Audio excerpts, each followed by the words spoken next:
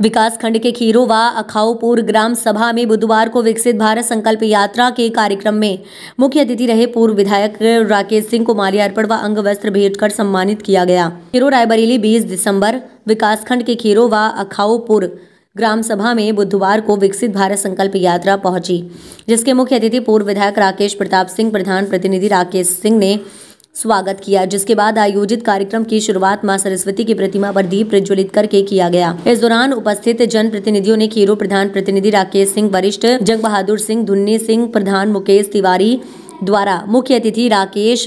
प्रताप सिंह का माल्यार्पण व अंग वस्त्र भेंट कर सम्मानित किया गया। कार्यक्रम में किसान सम्मान निधि, बाल विकास विभाग के लाभार्थियों के साथ क्विज प्रतियोगिता के विजेता बच्चों को प्रमाण पत्र व पुरस्कार देकर सम्मानित किया गया तथा भारत को विकसित बनाने का संकल्प दिलाया गया। खीरो ब्लॉक परिसर में आयोजित कार्यक्रम को संबोधित करते हुए अतिथि पूर्व विधायक राकेश प्रताप सिंह ने कहा कि प्रदेश व देश में भाजपा सरकार बनाने के बाद से गरीबों के लिए आयुष्मान कार्ड, पीएम गरीब अन्य योजना, पीएम उज्ज्वला योजना, किसान सम्मान निधि, किसान क्रेडिट कार्ड पीएम पोषण अभियान। हर घर जल योजनाएँ चलाई जा रही हैं, जिसके तहत ग्रामीणों को निशुल्क स्वच्छता सेवाएँ, आवश्यक वित्त पोषण सेवाएँ, उज्ज्वला गैस कनेक्शन की सेवाएँ, आवास, खाद्य सुरक्षा, पोषण, स्वास्थ्य सुविधाएँ, स्वच्छ जल गुणवत्ता पूर्ण शिक्षा प्रदान की जा रही है। इस दौरान स्वास्थ्य विभाग द्वारा लगभग 300 महिला पुरुषों का स्वास्थ्य परीक्षण करते हुए उपचार तथा दवा वितरित की गई। इस मौके पर ग्राम प्रधान राजरानी व प्रधान प्रतिनिधि राकेश सिंह, भाजपा मंडल अध्यक्ष शिवराम सिंह, वरिष्ठ भाजपा नेता जंग बहादुर सिंह,